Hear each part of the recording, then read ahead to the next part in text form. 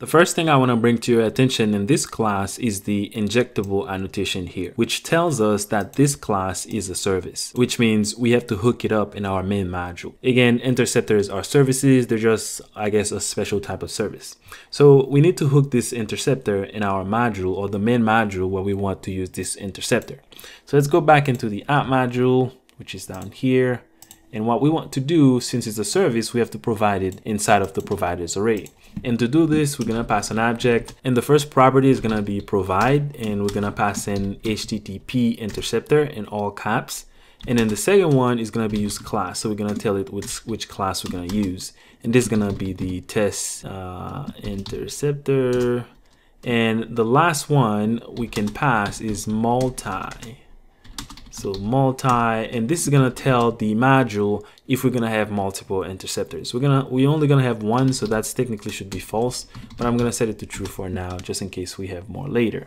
So this is how you hook this up, the interceptor up in the module. So now this is in this module. So whatever component belongs to this module, in this case, the app component that we're using, then they will have access to this interceptor. So now let's go back to the interceptor and just so you understand what's going on here, we're just implementing this interceptor class. And since we do that, then we have to define this intercept function that's coming from this class. And this function take the request. So this is the request that we're making. And this is the handler that we have to pass the request to whenever we're done with the request so that the request can continue its course. And another very important thing we need to understand about the request is that it's immutable. So this request here is immutable which means that we can't change this, this object. We can actually make a clone of it and then change the clone and then pass the clone to the handler. And that's what we're going to do because in itself, we cannot change this request because it's immutable. So let's say, for instance, we want to intercept every request and then we want to pass in uh, let's say some headers or we want to modify the body or something like that. So how would we do this? So let's go ahead and let's say I'm going to define some API key here. So I'm going to say constant, say API uh, token or something like that and set this equal to some random string, right? So let's say uh, this right here is is my token okay? Just some random string. Uh, let's say this token is saved in the local storage or we're gonna fetch it from some API using some of the logged in user information whatever the case might be. The point is we have this token now. Now what we want to do is to make a clone of this request because remember we can't change this request directly as it is as this object is right now because it's immutable. So we have to make a clone of it. So I'm gonna do const and then I'm gonna call the request so request dot clone and of course I need to set this equal to a variable.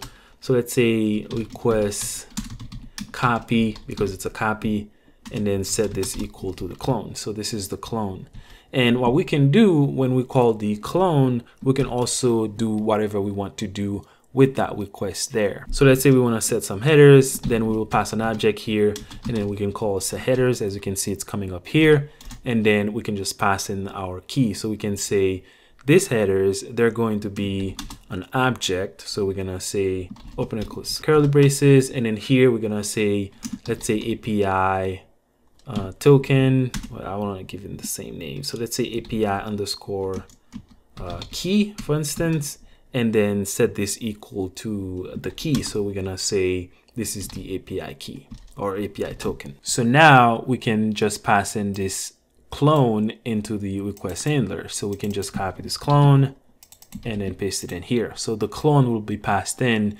into the request and then this header will be added into that request. And another way we can do this is to pass in just the token, but it will give it the same name as the key and as the value.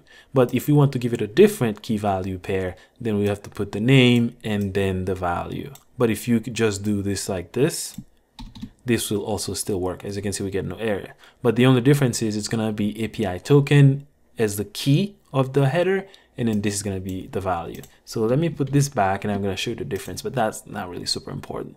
Just thought I would tell you. So now, if we run this application and check it in the request that's being made, we'll see that this token will be added. So let me double check. Okay, the application is running. So I'm going to go back here and just... Uh, clean this, expand this a little bit, go to the network tab where the HTTP requests are being made. And we probably need to fix this URL. So let me go back to the app, go to the service and remove the extra S's and go back.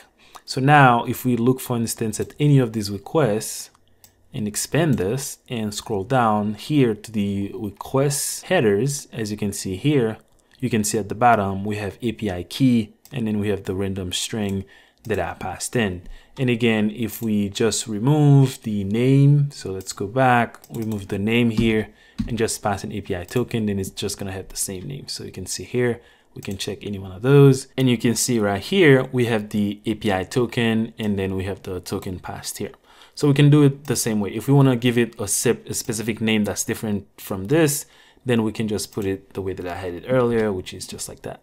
So that's us modifying the headers, but you can also modify the body. So what I'm going to do for more space is just put this on a new line.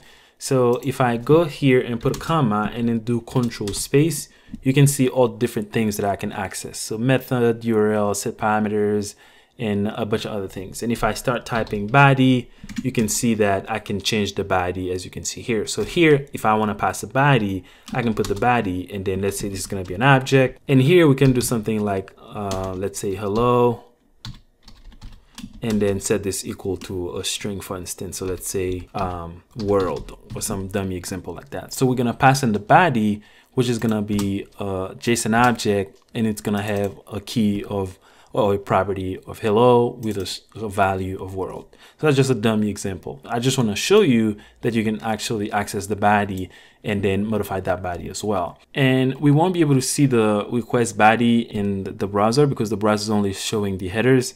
So if you want to see what this request look like, we can actually just console log it. So I'm going to do console.log and then pass in the uh, request copy. So request copy here so that we can see what this request looks like as it goes out to the internet. So let's go back to the browser and let's just look at any of those requests. And or actually we need to go to the console and you can see here in the test interceptor here that I have this request that I'm console logging and we can take a look at it. You can see the body here has a low and then world and everything else that's in the body already that we can actually access or modify in our clone. So you can change the body, you can add headers and we can expand this header as well. And you can see that our API key is here, which is an array, and you can see the key is API key. The value is the dummy string that we passed in. Now, like I said before, interceptors are really, really useful and they're heavily used in Angular and you can use them to catch errors. As you can see here, it's a point where all requests are gonna go to. So what they would do is they would call the pipe operator on here. So they would just call the pipe operator and then do exactly what we did in the service here. So they would call the pipe operator and then do catch error and then do this piece of code here, which is just gonna run this error here. Well, this is just an example, but you would have your actual error handling function that's going to take care of handling all your errors. Since this is a point of uh, all the requests going in and out, then that would be a good place to handle errors. It's also a good use case for caching. So whenever you request data and the data comes back, then you can also use the pipe operator to tap into that data or just look into it or just make a copy and then save it to your local cache and things like that. So this is how you use interceptors and you can have multiple different interceptors. So you can have one for authorization, one for caching, and one for handling errors, or you can do multiple things in one interceptor. So it's up to you on how you want to design the application.